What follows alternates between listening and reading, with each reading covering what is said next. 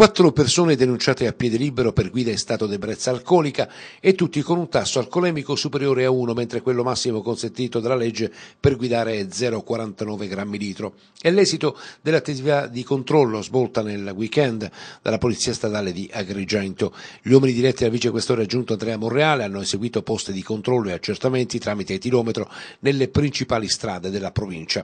Il primo a cadere nella rete dei poliziotti è stato un giovane 24enne di Palma di Montechiaro, controllato da una pattuglia mentre guidava in paese, risultato positivo all'alcol test.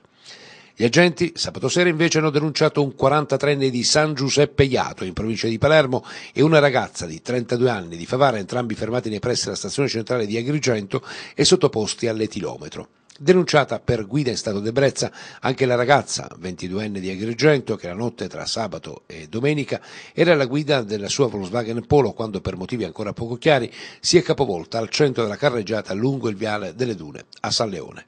L'intervento degli agenti della postata ha consentito di sottoporre la giovane automobilista al test del tilometro che ha dato esito positivo. Anche per lei, quindi, denuncia a piede libero alla Procura della Repubblica di Agrigento e inevitabile ritiro della patente.